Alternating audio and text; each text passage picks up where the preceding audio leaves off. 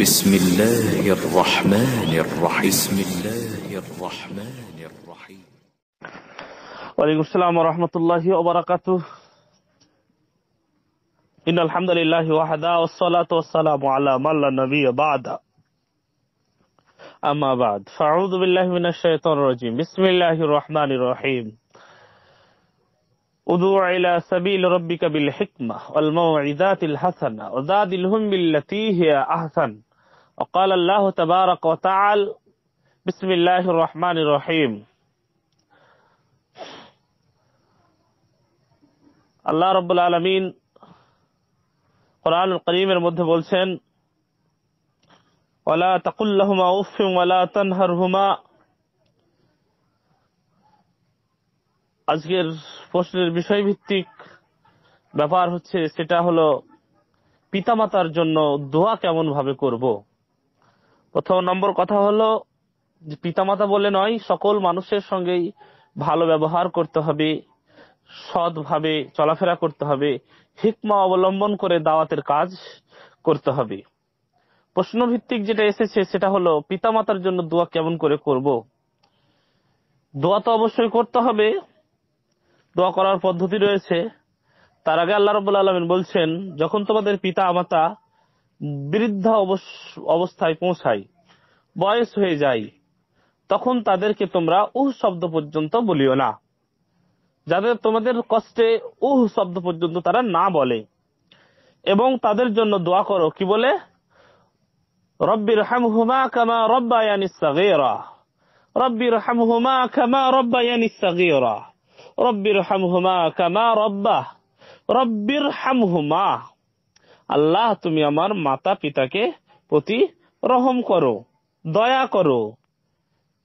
কামা রব্বায়ানি সাগেরা যেমন ভাবে তারা, অর্থাৎ মাতা এবং পিতা, ছোট অবস্থায়, আমরা যখন একেবারে ছোট ছিলাম নিজস্ব কোনো ক্ষমতা ছিল না।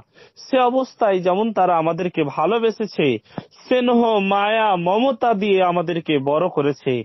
আল্লাহ, তুমি তাদেরকে সেই মতো আল্লাহ তুমি প্রতিদান দাও। অনেক সময় অনেক এসেছে, অনেক ব্যক্তি অনেক রকম কথা বলে যে, তোমার শরীরের চামড়া দিয়ে যদি মায়ের পায়ের তলার জুতা বানিয়ে দাও, তবুও মায়ের ঋণ শোধ হবে না।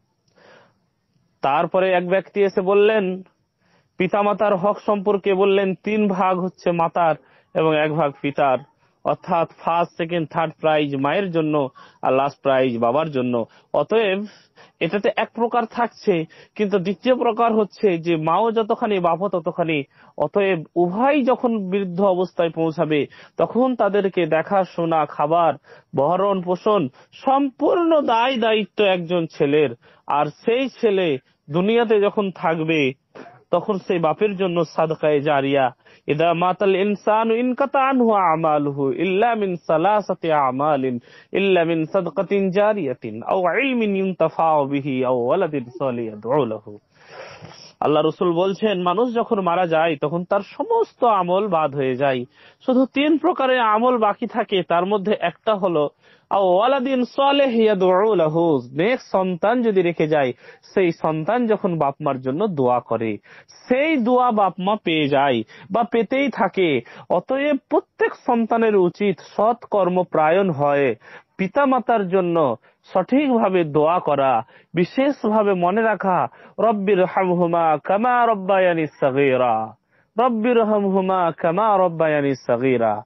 পিতামাতার জন্য স্পেশালিস্ট একটি দোয়া। পিতামাতার জন্য কেমন করে দোয়া করবেন?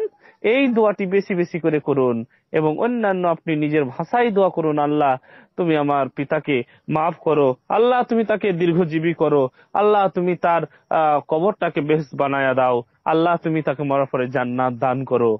আল্লাহ, তুমি তার ঘোলা ভুল ত্রুটিকে ক্ষমা করো।